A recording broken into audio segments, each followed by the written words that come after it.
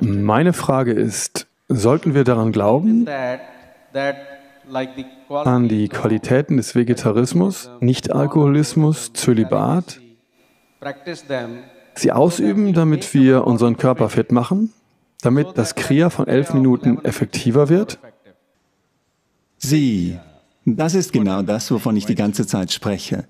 Warum ist sogar Essen ein moralischer Wert? Beim Essen geht es um den Körper. Wir müssen essen, was für diesen Körper geeignet ist. Aber im Moment sprichst du davon, Nahrung zur Gewohnheit zu machen. Ich möchte dir sagen, dass es keine gute Angewohnheit und schlechte Angewohnheit gibt.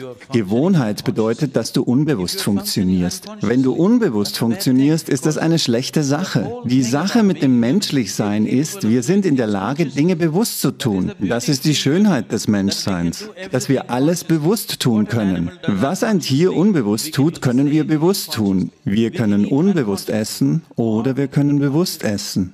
Wir können unbewusst atmen oder wir können bewusst atmen. Alles, was wir tun können, können wir bewusst tun. In dem Moment, in dem wir bewusst etwas tun, sieht dieser Mensch plötzlich sehr gebildet und wundervoll aus. Nur weil sich jemand bewusst bewegt und bewusst spricht.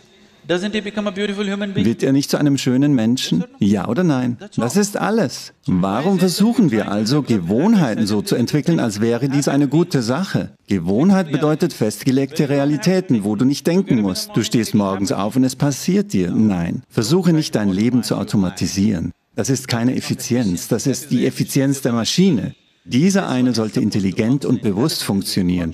Niemand erwartet, dass er wie eine Maschine funktioniert also über Essen und ähnliches. Nahrung muss für den Körper geeignet sein, für den wir essen. Es ist für den Körper. Dies ist das Baumaterial für diesen Körper, das Essen, das du isst. Was ist das passende Essen? Leider ist jetzt alles durcheinander. Wir haben traditionell sehr vernünftig in diesem Land gegessen. Aber diese tausend Jahre der Invasionen haben andere Ernährungskulturen hervorgebracht. Und heute ist die nationale Diät Pizza oder Pasta. Welches es ist, weiß ich nicht. Beide konkurrieren. Wir verlieren also unser Verständnis für das Essen. Es ist definitiv Zeit, sich anzuschauen, was am besten geeignet ist. Wenn ich näher auf dieses Essen eingehe, es ist ein sehr langer Prozess, aber du musst mit dem Essen experimentieren.